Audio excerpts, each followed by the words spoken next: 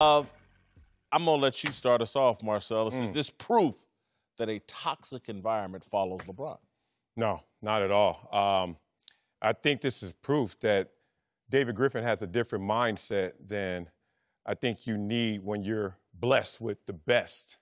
Uh, a fear of success comes to mind in David Griffin's uh, situation when he self describes getting LeBron James in the building and literally falling on the floor in anxiety and tears because that wasn't the best thing. I, I, I don't know what you're built for, and people are built for different things. I don't know what your end game is, but getting the best player in your sport brings you to the floor in tears and they're not of joy. That's a bad place to start. And everything else follows may be in direct correlation to that affected mindset, which is not a good one. Uh, LeBron James is, suffering from what I guess superstars and even stars, anyone who ever makes it, suffers from. You don't change first. Everything and everyone around you changes first in perception, then you have to respond. When LeBron James lands in the building to go back home to Cleveland and say, This time I'm gonna bring home the championship, I'm already a champion. Where's the embrace? Where's the let's go get this? Why the anxiety? Why the fear? It was a little more telling of someone I truly respect in David Griffin and his genius, but this mindset, that was a bad one. This is proof to me that the fear and the reverence of, of and for LeBron James is over. Because the reality is, GMs and people running teams have felt this way going all the way back to Cleveland, Cleveland the first time that LeBron was there. Hmm. In terms of the burden of having LeBron James and having him and now Rich Paul involved in everything and everything having to run through them and pass their muster. Every GM had to look at it and say, I'm basically abdicating my role. I am now serving this best player. Yeah. That was a price worth paying when it was delivering championships. But now, now that people are looking at it and saying, he ain't that. Mm. Now everybody is speaking out. That was the shocking part that David Put his Griffin name on it. would put his name on it and speak the truth. Because I talked to a lot of GMs and a couple of owners. Remember, there was talk about should the Lakers trade LeBron James? Yeah, I remember that. Right? Yeah. And I surveyed the league to find out what the level of interest would be. It wasn't there. There was a two, three years ago, anybody would have paid anything to get LeBron. Now it was, you know what, we're not really in that place. And a lot of GMs were like, well, that I got to give up my corner office to Rich Paul, and I got to do what LeBron James wants me to do. I, I really don't want to sign up for that. That is what this is. Yeah, I think we're, and people are going to be upset and they're going to be apocalyptic, but they, the NBA has created Frankenstein. And he, he drove a lot of TV ratings or whatever, but it got to a point where it's like, well, damn, no one can control him. No, no one can, and he'll turn on you Yeah. very quickly and crush you uh, if given the opportunity. And so, look, man, this is, it, sounds like a, just a terrible rebuke of LeBron, but, but it, it's really not, because I think most individuals, given LeBron's circumstances, would do the exact same thing. If I grew up without the strongest parental guidance and had to rely on me, and then I was blessed with these incredible, once in a lifetime athletic gifts that fixed a lot of problems, starting at about age 10. I would lean on that for the rest of my life. You couldn't get me to come off of believing in me and what my physical gifts could produce.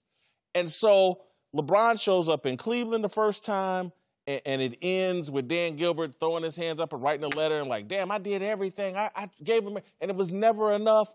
And now I'm bitter. He's a bitter ex-lover. He goes to Miami. Pat Riley, Erik Spoelstra wrestle with him for four years. Pat Riley has to stop him from destroying Erik Spoelstra. And when that's over, Pat Riley lets it out, mm. goes back to Cleveland. Same deal. Now we got David Griffin saying, and so the common denominator in all this is LeBron. Oh, yeah. And so we can't, we can point, oh, it's David Griffin and blah, blah, blah. It's this guy, it's this guy. LeBron's the common denominator. He, because of his unique circumstances, how he was upraised, the unique gifts, what his talents delivered him from, he has every reason to believe I am the solution. Yeah, it's interesting that all the circumstantial evidence can tally to say, LeBron, common denominator, you're the culprit. But that doesn't really address what David Griffin was talking about.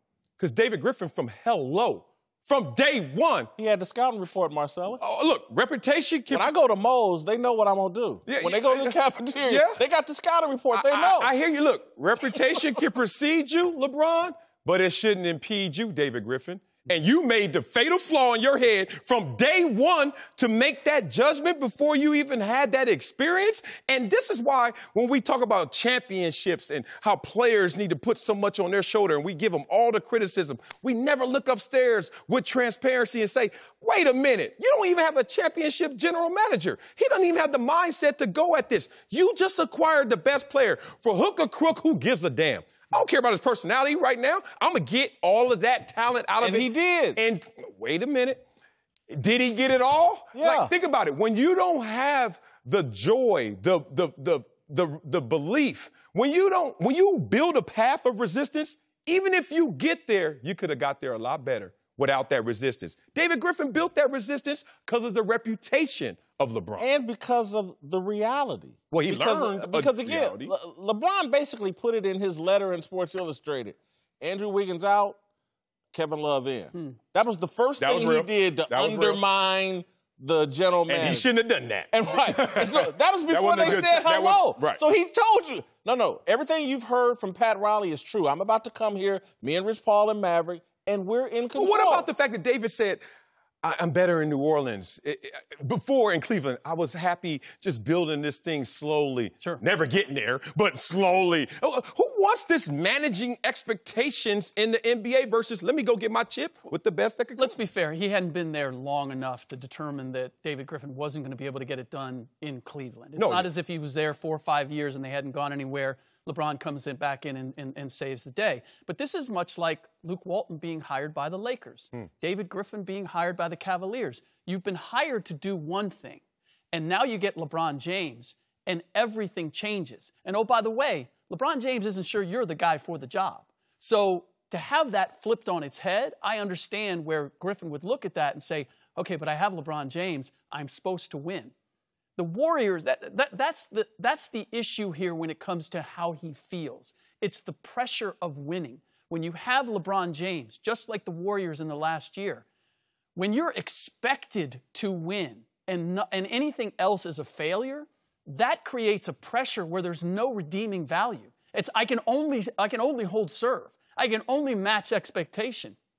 To me, that's what has you weeping in a closet uh, over this. But uh, the, the, mm. the piece that was done, the, the, the quote here is the reason is LeBron is getting all the credit and none of the blame.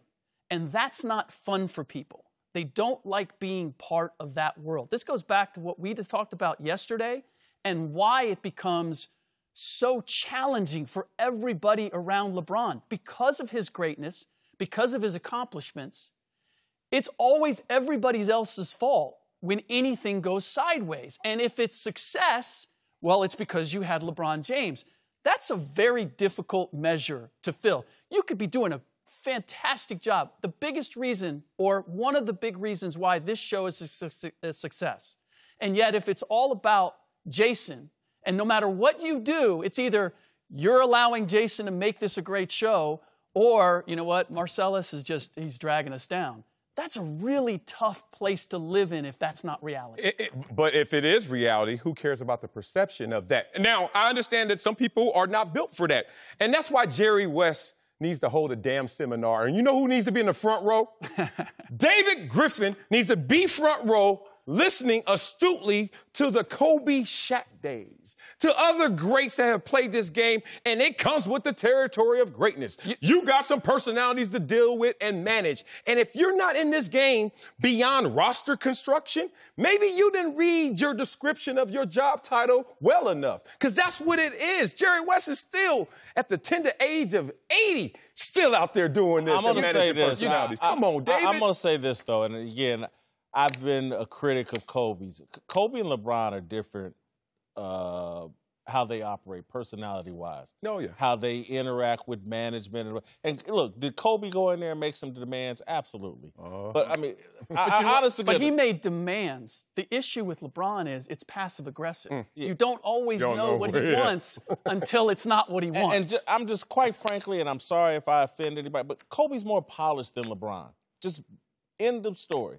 And so, in again, what every, gives you that understanding? The seven languages he speaks. Yeah, that, yeah. yeah. I mean, having interacted right. with him a little bit, but, but yeah, he's more polished. and so, when he goes up there and makes demands, I'm just it just comes across a little different hmm. than when it's LeBron, Rich, Maverick. These guys have been very unpolished and have been trying to polish themselves in that apparatus. On the basketball court, LeBron's as polished as anybody in the theater of corporate politics and things like that, very unpolished.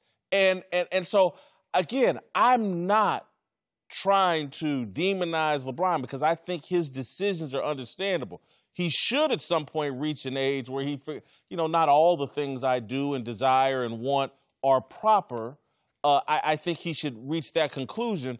But, but, but I, I'm not going to, if I'm David Griffin, and when they announced LeBron is showing up, David Griffin knows how many different things, how many different things he promised to people, he's now going to have to take back. Mm. I can't deliver on what I said I was going to do. Hey, David Blatt, you may get eviscerated here. Mm. Uh, some of you players, Andrew Wiggins or whoever, you, well, you just got blew up in a letter and uh, well, not mentioned in a letter, right. which means basically blown and up. so I just I think that LeBron is a very unique human being coming through a very unique situation, and and there are so many people that because of his success and because of where we are in a society now are are so unwilling to question anything he does. Mm that that it's unhealthy. It's he can't have the growth. And, and, I'll tell you the other thing. This was my other big point. In mm. in American society,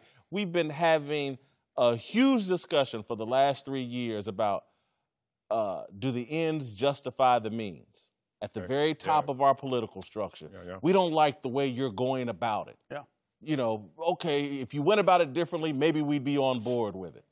and, and again, this is what I say about wealthy entitled, pampered people. They don't care how they get it done. They just get it done. And if people's feelings get hurt along the way, and if their the actions are inappropriate, screw you. And this is, and people have been upset with me, but I said, LeBron James, I'm just, he's not that much different from our president. He just comes at it from a different place. what? And everybody gets all upset. But I'm just, when you're born with that kind of talent and at 10 years old, grown men and women start catering to you for the rest of their lives, and you spend 25 years being catered to and 10 years being a poor kid in the hood, you're more like the 25 year experience than you are the, t- the first 10 years. I- Thanks for watching. Subscribe here to get the latest from the show. And be sure to check out more of the best clips from Speak for Yourself or go watch a few segments from our other shows on FS1.